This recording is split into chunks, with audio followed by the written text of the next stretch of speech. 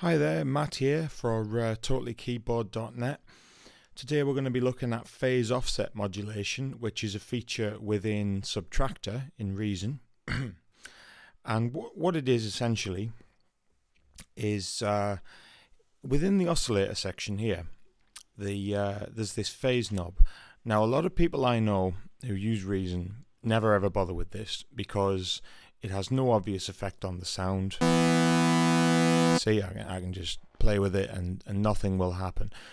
Um, and the other thing is, is, is when it does do things, um, it, it's, uh, it's complicated and it, it's, it's confusing. So what I'm going to do, excuse me, is I'm going to explain a bit about how it works. Uh, this is um, a feature that's unique to Subtractor, uh, at least within Reason. There, there's not uh, an equivalent feature within Thor. Um, and what it's doing is uh, when the oscillator, let's take for example oscillator 1 here, it's not actually generating just one waveform, it's generating a second one. And depending on the position of the phase knob, uh, it's either a whole cycle uh, behind or a whole cycle in front um, or it might be half cycles. Uh, don't quote me on that. But basically, uh, the waveform is going to be either behind or in front or somewhere in between.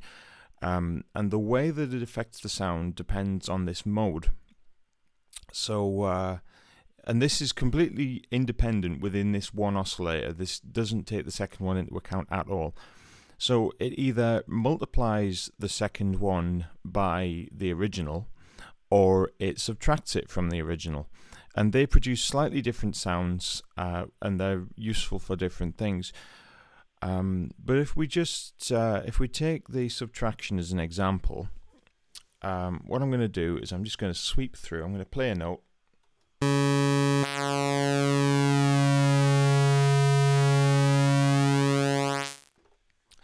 Now, you might notice that that sounds quite a lot like pulse width modulation, and in this particular example, that's exactly what it is.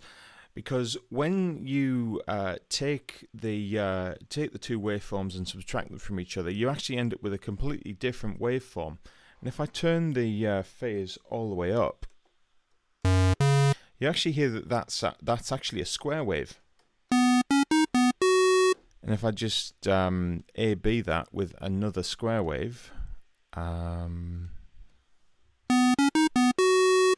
So you can actually hear as I uh, that that's that's pretty damn close. So um, it's uh, it, it actually adds pulse width modulation into Subtractor, which it doesn't actually have. So it's it's useful for that. You can generate uh, you know a lot of a lot of the sounds that you would be quite um, that you would be quite unable to do. Um, and it's not just good for that. I mean, you, one, once you start playing with the more complex waveforms, you end up with much more uh, interesting results because the more partials that there are and the more complex the waveform, then um, the more unusual the, the new waveform will be. And you can actually get some pretty cool modulations going. So if I just give you an example.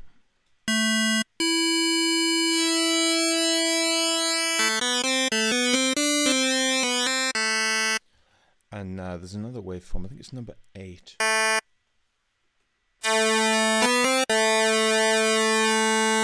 And that's just the subtractive mode. If I switch the multiplication mode on, it's a subtle difference, but uh, it's definitely there.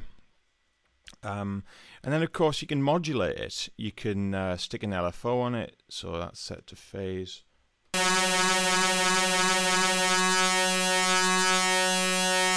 So it goes from being quite static sounding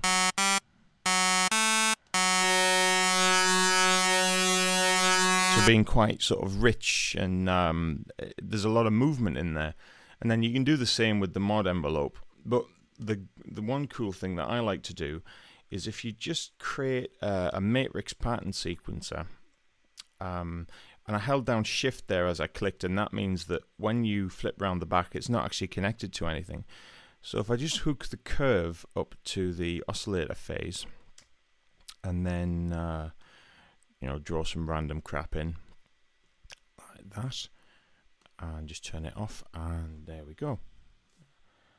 And once again I forgot that you've got to change tracks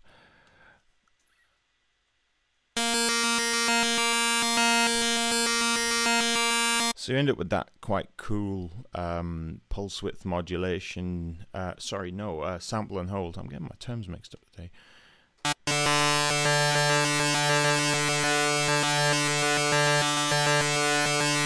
So you can uh, you can get some really cool sounds out of it just using this.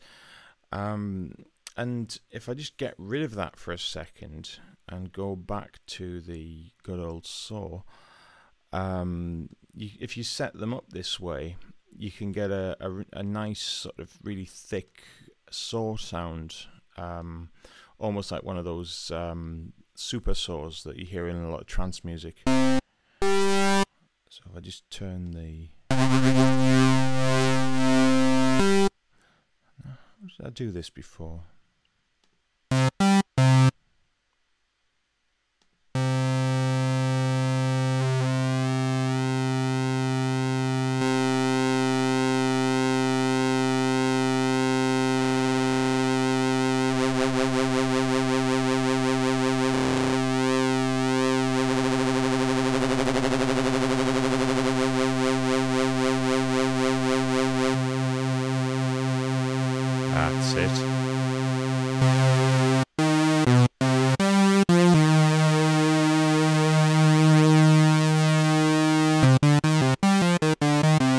So you get that nice thick sound out of it. Uh, so yeah, that's just a very sort of quick, rough demo uh, of some of the things you can do with it. But it just shows you that Subtractor isn't something you should ignore. Because um, Thor tends to get all of the attention because it's got all the bells and whistles. But Subtractor really does have still quite a lot to offer. Um, so give it a go, and um, if you like it, let me know in the comments. All right, cheers, guys. Take care.